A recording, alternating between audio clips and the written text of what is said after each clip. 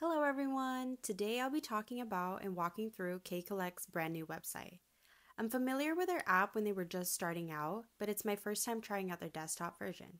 So let's get started. Their website is www.kcollect.net. It's very important to note .net because .com may take you to a completely different website. Only sign up for the one that ends with .net. Here on their front page is where you will sign up. Now the developer did say that even if you had the app before, you will need to sign up for a new account. Unfortunately, they also got rid of the username feature, so you can only log in using your email address. Your email address will not be public on your account. Just a brief introduction to K Collect for those who are unfamiliar with it. It is a K pop collection tracker mainly focused on photo cards and albums for K pop groups and soloists. Think of it as a wish list, but a wish list that you can access on the go. So, their site allows you to keep track of your photo cards and album collection, and you can also share your collection with your friends. They are still working on their mobile companion apps available with iOS and Android to improve it and work on bugs. I'm not sure if they're improving their existing app or creating a brand new one, since people will need to sign up with a new account on their website. It will be a hassle to create a brand new app, not just for the developer, but also for users, especially those who have already put in hours on tracking their collection. Some other features they have, which I believe were not in the app, are album summaries. You can get more info about an album as well as members in a group with their Wikipedia like feature. What's interesting is that it looks like they will eventually have a market and value data for albums to see how much they cost. Though I have opinions about the photocard market, I wonder if they'll also have a feature for people to know how rare photocards are valued. They also plan to have a group order program, which I find interesting, considering group order managers, or GOMs, already have established their own system, as well as one of the first GOM programs I know of, which is GOM Drop. So I'm curious to see how theirs will differ from others. I already signed up prior to filming just to preview some of the features, but on the front page is where you will sign up if you're new to K Collect. So here is how the dashboard looks like once you've signed up. You have the counter for your album collection and photo card collection. You can add your favorite groups or artists. For latest releases, I'm not sure what that is, but I think it may be for groups you add to your favorites if they're having a comeback. On the right side, this is where it will show you albums and or photo cards you've purchased and are on the way. This helps keep track of your purchases, especially if you tend to buy a lot or actively trade within the community. On the left, you have the Browse button to search up groups or artists. You have My Collection, which is where you will see what you've added to your collection, and a comeback calendar for all recent releases. For the comeback calendar, I think they're still working on updating this because it says here that RM's Indigo album was released on January 15th, 2023, but I'm pretty sure it was released late 2022. So I don't know where they got that info from. And so far, they haven't added anything for February, though I think there aren't any February comebacks announced yet. The Browse section has its own page where you will find their recommendations and the K Collect staff's artist and album of the week. On the search bar in the Browse section, you can look up any group or artist that you collect albums or photo cards from.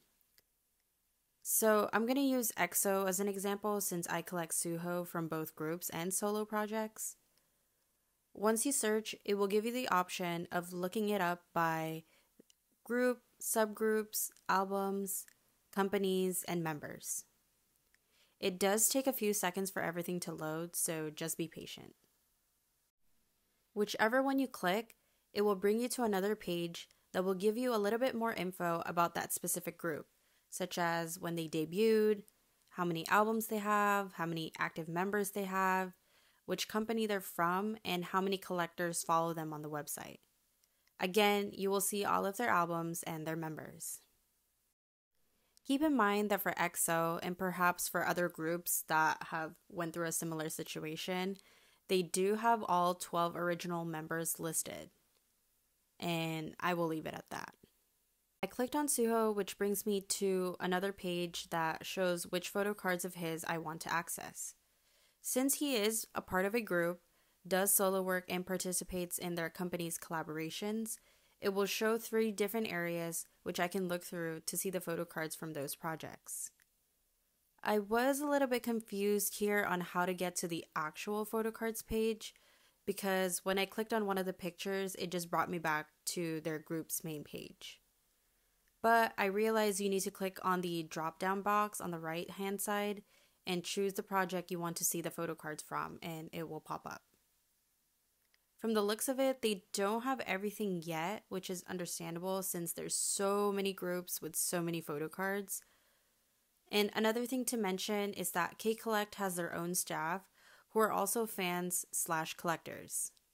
From what I've gathered on Twitter, some of the fans are assigned either a specific group or a specific member from a group, and they are the ones that gather the photo card scans to add to the website. I also saw that K Collect allows you, a non staff, to submit scans of photo cards that may not be on their site just yet. So I selected a photo card that I already have in my collection. It will tell you which album it's from and which version it is if there's multiple versions. It also shows you how many people are looking for it and how many people have it in their collections. When you scroll down, it will show you the other photo cards from the same album. On the right hand side is where you will select what you want to do with it. If you don't plan on collecting it, you just leave it under Don't Need. If you are looking for it, you select Looking for and add the quantity. Now, you might be wondering why you would need to add quantity. My theory for this is that this could be a helpful feature for those hosting group orders who want to give their joiners their number one choice for their album pulls. Or I also know a few collectors that like to have a full four or nine pocket page of the same photo card. Now, if you already have the photo card, you'll just have to click on Have and add the quantity again. If you bought the photo card but it's still on the way, you will toggle on the On the Way button below quantity. You can also add notes about it, such as who you bought it from or where it will be coming from, as well as adding in a tracking number if you have one. Now, when you go back to your dashboard, it will show you how much you've added to your collection. To add a group or artist to the list of artists you follow, just go to their page again and click on the star next to their name. Now, when you go back to your dashboard, it will show up under your favorite artists or group. Now I'm going to try to add a card I'm looking for. I chose NCT's Jungwoo for this one since I have one photo card I still need. For the one I'm looking for, I went straight to the album, which is Two Baddies. But it looks like they weren't done uploading all the photo cards yet. So I decided to just choose a random NCT photo card just to try out the looking for button. But then their website significantly slowed down for me. So when I find that there's issues with a site, the first place I check is Twitter to see if they posted about a known issue. However, in K Collect's case, looking through their page, it looks like there's nothing going on. So it's either just their site that's slow or my internet. When I did go back to the site, it finally loaded. So I used NCT Taeil's photo card, selected looking for, but also I tried out the on the way feature and added a random tracking number just to see how it will appear on the dashboard. It appeared on the on the way section under photo cards, and once you click on it, it basically just takes you back to the same page where you made your selections. I think there's still a lot of improvements that need to be done with the site, such as the slow loading times and how there's so many pages you have to get through before getting to the actual photo card. For me personally, I'd be perfectly content with a three step click process. One, select search to look for the group.